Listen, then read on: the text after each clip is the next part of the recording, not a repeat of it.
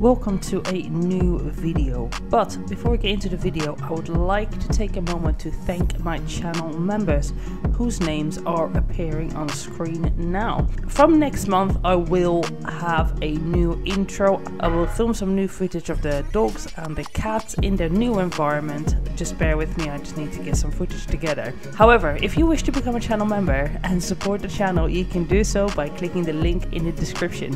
The first tier will get your name on screen at the beginning of reaction videos. The second tier will get your name on screen.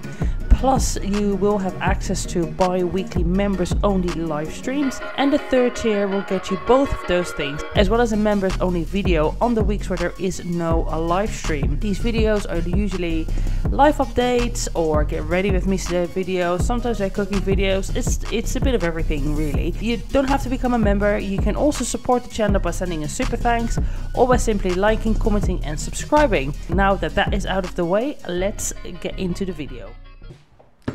Hey guys, what's up and welcome back to the channel. My name is Ilona. I'm also known as Chikara Transformations. I'm an online health and fitness coach and I'm also a bodybuilder. Oh my god, my bicep looks well good in this light here. Check that out. I don't even train my biceps. I'm not allowed to train them because they're too big already. And that's not a joke. I don't train my arms or chest. And I train my back and my shoulders very little. Sad times, but it is what it is. Instead, I just have a, a hamstring day, a glute day, a quad day, and a lower body day. And it seems to be working quite well so far. So if you're curious to see what that's all about, then be sure to check out my dedicated vlog playlists that I have. I have prep playlists, I have an off-season one now, loving the cooking of the things.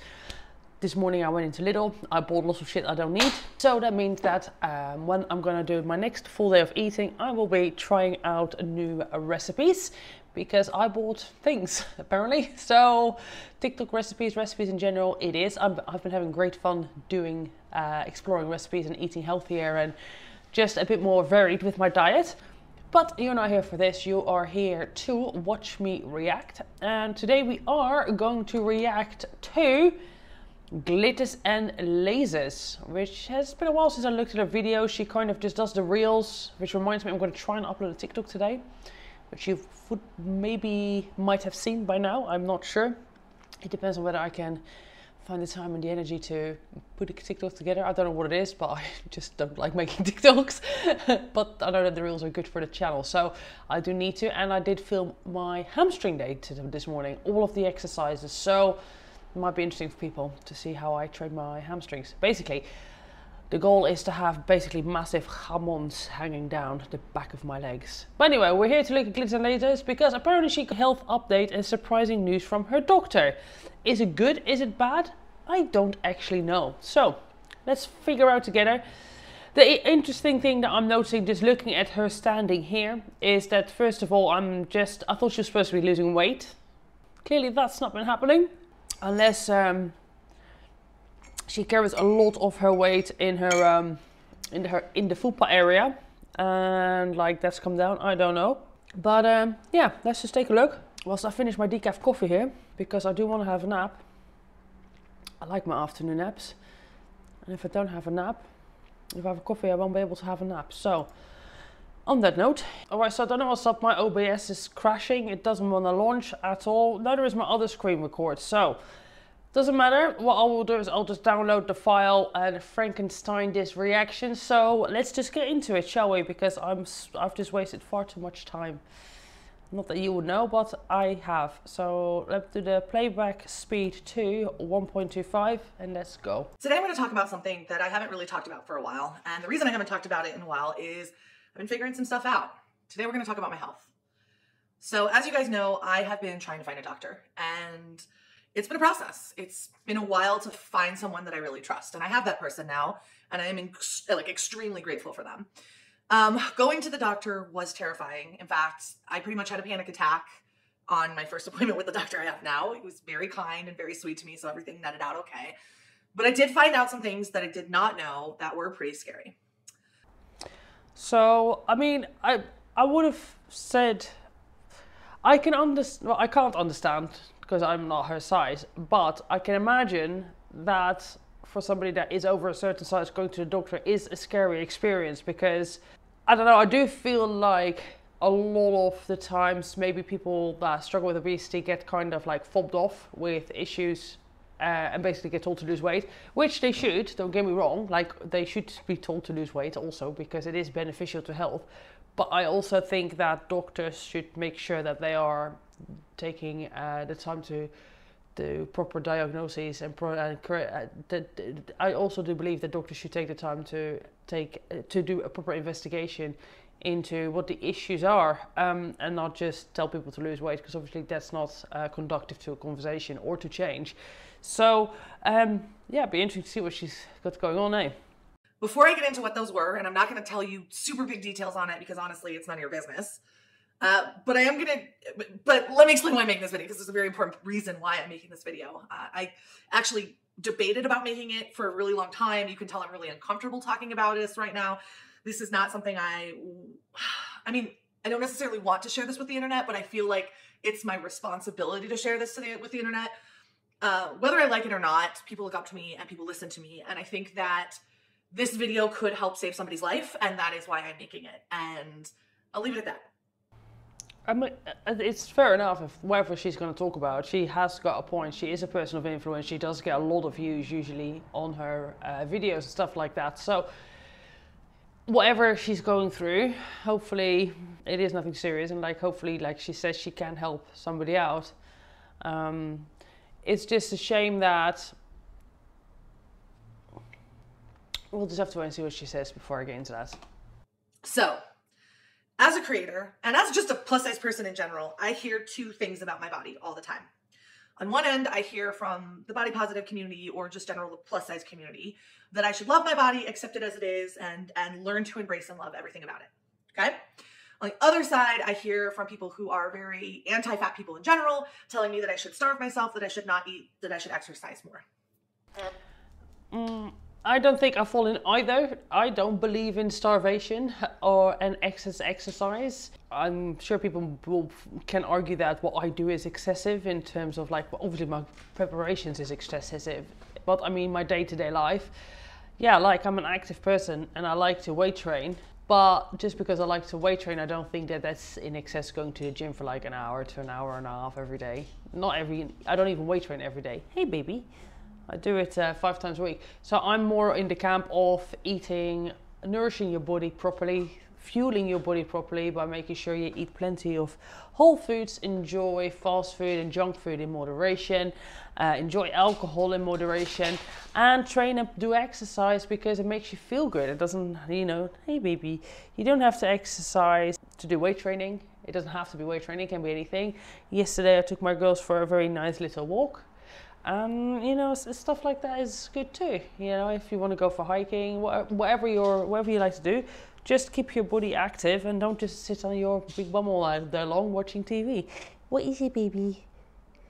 Are you being a happy girl? Are you being a happy girl? Oh, is a happy girl? It's Rosie. Yes. and frankly, I gave both of these audiences way too much of my attention. And what ended up happening is as I started to gain weight over the last couple of years, uh, unbeknownst to me how or why, I started to take from this side that, you know, kind of critiques fat people. I started to take that if I was tired or exhausted or upset at the end of the day, that that's because I was overweight. And so I began to work very, very hard on getting into shape and getting um, and pushing myself really beyond the limits that I should have. And that's a very honest response. Um, and I always just felt extremely tired. So, but I kept pushing and I would push myself so hard that oftentimes after a really big thing that I pushed through, I would need two days, sometimes a week to recover, which is not normal. It's not normal, but I thought it was normal because I kept hearing from this audience that it was because I was lazy. And I would say to um, people in my life that I'm I'm so out of shape. I need to get better in shape. This shouldn't affect me as much. And I would say that all the time. And I would literally like beat myself up for not being in shape enough. Okay, even though I was trying and I was really doing all the right things to get there. I, I kind of get the argument she's going to try and get to, and obviously the reason she's feeling a certain way is because, excuse me, is because of the fact that she's um, she's got a health problem. But let's be real, being like 500 pounds or wherever she is, is, go- is going to make you lethargic. Like, there's no way that having so much extra body fat is not physically exhausting on the body. It's like if I can notice a difference on my body, whether I'm 68 kilos, whether I'm 72 kilos, 75 kilos, or 80 kilos, trust me, doing just general exercise at 80 kilos is a lot harder than when it is when I'm around 72, 73 kilos. Like the weight that I'm now is like a prime weight for me. I'm strong, I'm energized, I sleep well, my normal hormone functions returned, but at the same time I'm very athletic looking still. But at the same time I'm starting to get things like cellulite and stuff like that. So uh, the point with this being is, is that if I can notice a difference of like eight kilos, which is what like 16 pounds, whether I'm like 72 kilos or 80 kilos, you cannot, I cannot believe for a second that she's like, that you, you are 500 pounds or 450 pounds or wherever she is. And that's not making a difference on how she's feeling in terms of like energy and endurance, etc. Oh, do you want to come? Is that what it is? Do you want to come for a cuddle? Do you want to come for a cuddle? Is that what it is? Huh? Do you want to come for a cuddle? Come here then. Okay. Oh, but my big girl. There we go.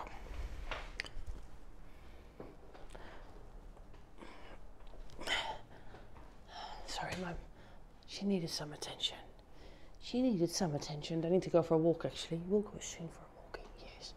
I wasn't progressing and I wasn't um, showing any difference in in my levels of stamina and, and and some other things. Okay. On this side, it was like love your body as you are. You know, you are this way because you are right. And so I I was caught in this middle where I both attacked myself mentally every day for not being able to do what a what a thin person, what I thought was just my weight couldn't do, um, and then also embrace and love my body. Thought this is just the way it is. Okay. So this is kind of what led me not to go to a doctor. Also from from the fat community, I heard that doctors are scary. Doctors will just tell you about weight loss. Doctors are just going to prescribe you medication and tell you that that's the solution to your problems. I just don't understand what it is with all of these influencers, how they put so much effort, uh, not effort, so much emphasis, sorry, I don't know where effort came from. I don't know why they put so much emphasis on what other people think about them all the fucking time. It's like you literally choose this as a job, as a career, whatever it is, right? Or you fell into it, wherever it may be why why is it that so many people on the internet are so especially people that are in a person that have channels that are choosing to edit and upload content why are you so bothered about what other people think about you to a degree that you're giving yourself like de- depression and anxiety it's like fucking ridiculous i'm sorry like i'm getting really fed up with all these people that really have like quite privileged jobs like because i can recognize that what i do is pretty privileged you know, like it's quite a luxury to just film. Like, for example, today, like I film whenever I want, I edit whenever I want. It's a luxury that a lot of people don't have. But then for me to go say this, like, oh, somebody said a mean thing, or somebody has an opinion that they don't agree with, or somebody has this. It's like, yeah, all of that happens to me too. It happens to everybody. This is part and parcel of the job of being an online persona. Stop fucking crying about what other people think and what other people think you should do, and just do what you think is right and then you don't have these problems. I don't stress about what other people think about me. Like, you know, me film a video, and then after that, I'm gonna walk my dogs. I'm gonna have a nap. I'm gonna edit the video, do some emails, do some cleaning, do some eating, walk my dogs again, have a cuddle with them, and that's it. Like the internet is that's that is this is it for me. Like I let you do the videos, I edit the videos, and that's it. I don't like I don't spend too much time worrying about what other people think about me. Like why is it that someone like and um, that it's not like me trying to flex or anything. The point with this being is that I just don't understand it. I don't understand people who choose to do this for a living and it's not just her, it's so many creators. It's you're choosing to put yourself out there, you're choosing to make this your job, yet you cry all the time about people having opinions. Like what, like what do you expect this is this this is what you're doing you are putting yourself out there to thousands millions of people if you're lucky to watch you do you really think that all of those million people are, or all of those thousands of people nay nay nay nay do you really think that all of those thousands of people are gonna just agree with everything you're saying no there's always going to be somebody that has something to say Jesus Christ. I don't, know, I don't know why that just like irritated me, but it just it just did today. All right, it just irritated me today. Just the the constant moaning of creators that are so privileged about basically the opinions of others. It's like Jesus, if it's such a problem, get off the freaking internet. So I built a deep fear of um, being told to lose weight, and also a deep fear of taking any medication or solution to lose weight. Okay, so both of these sides yelled at me, and I made I'm going to say right now, here and now, bad choices. Maybe not bad choices, but choices that weren't my choices. I was making choices based on this input, which is my own fault, by the way. It's my own damn fault. This video should just be titled It's My Own Damn Fault, because it is. Well, at least she has the ability to recognize that. Eventually, I got to the point where I started to realize how much these two voices yelled at, me. yelled at me. Actually, I would say I learned that this side was yelling at me. And I was like, you know what? I don't want to be as big as I am right now. And I want to investigate how I can change it. And this has nothing to do with being attractive, by the way. I literally do not care if you find me, uh, excuse my French, fuckable. I do not care. Uh, I do not care if you want to sleep with me. I don't care if you find me beautiful. I really, I just don't. I, it's not important to me. Um, but what is important to me is mobility and being active. And I didn't want to feel tired all the time, exhausted all the time from basic everyday activities. So I decided to just kind of tune out this crowd, maybe listened a little bit too much to the people over here. And I finally decided I'm gonna go to the doctor and I'm going to get one of the new hormonal weight loss drugs that are out there. And this is really what led me to go to the doctor. What is that? Ozempic, is it, or something else? And part of this had to do with the campaign I did um, with a brand earlier that talked about, you know, you should be seeing a doctor if you're overweight as your first step to any solution. And you know what? A lot of people hated on that campaign, but in a lot of ways, that campaign saved my life because it got me thinking about, yeah, you know, I don't really know why I'm overweight and I should be talking to someone. And yeah, I have lipedema, but it's like, is that really the cause? And like, who knows what's going on with my body? So I made an appointment with a doctor. Again, I totally freaked out, had a panic attack there. Um, we took some labs, and my doctor literally said to me, he's like, I can't give you a diet and I can't give you anything until I see what these labs come back as, because that would be like irresponsible of me. He sounds pretty sound to me.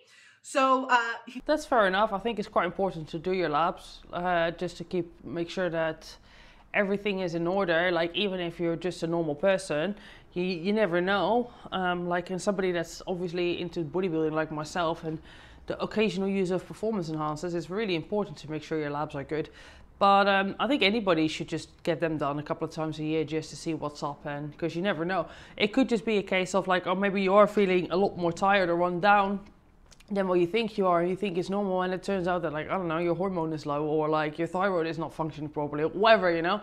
It could be anything so it's always worth doing i don't know if they're like pricey in many other places over here they're fairly fairly reasonably priced well everything is but i'm sure if you have like medical insurance or something like that maybe you can even just get it done with your doctor i don't i don't know how that works or whether you have to pay for private did suggest that i start eating five times a day which ironically this group told me to eat less my doctor told me to eat more and that we would probably have another appointment once the labs came back.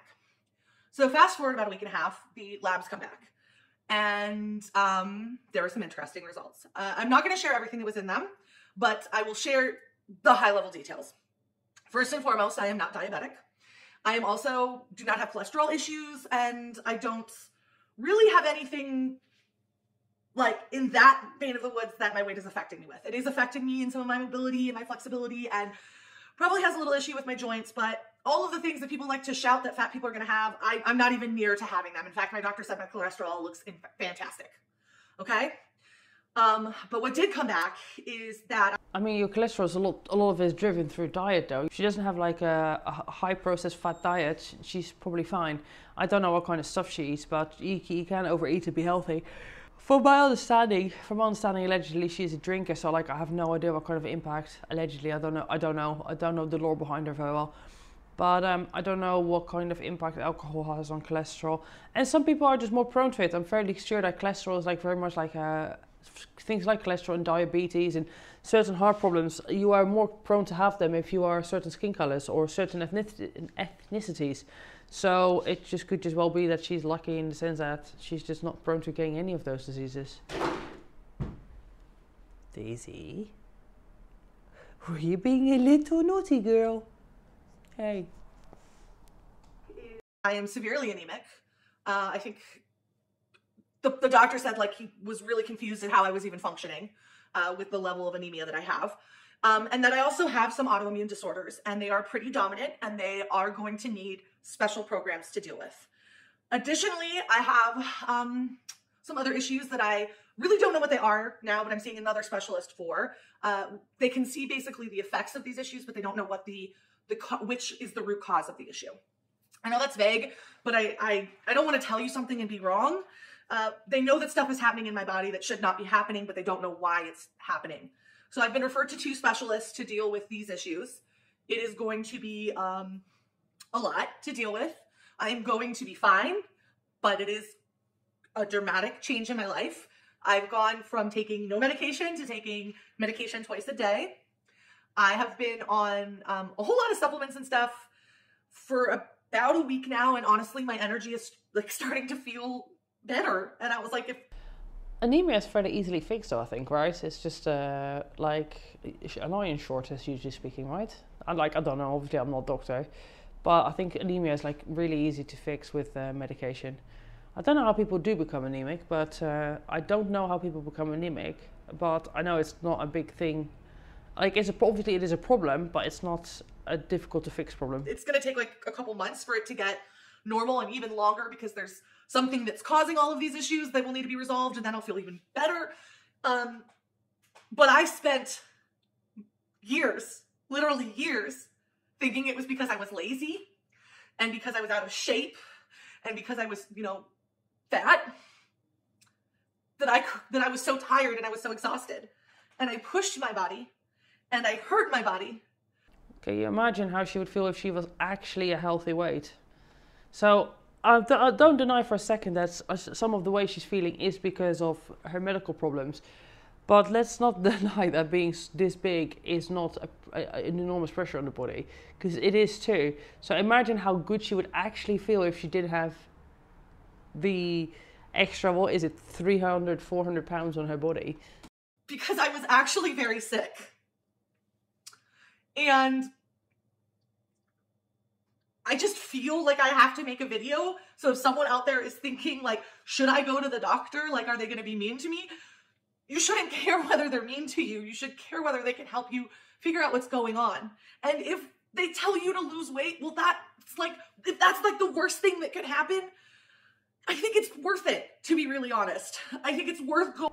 I mean, fair play to her for at least saying that, right? Because, like, let's be real, in the grand scheme of things, a doctor telling you to lose weight is maybe not nice to hear. And like, yeah, you want to get a proper diagnosis, but in the grand scheme of problems in the world, that's very much a first world problem, isn't it? Like that's literally the definition of it. Somebody telling you you're fat.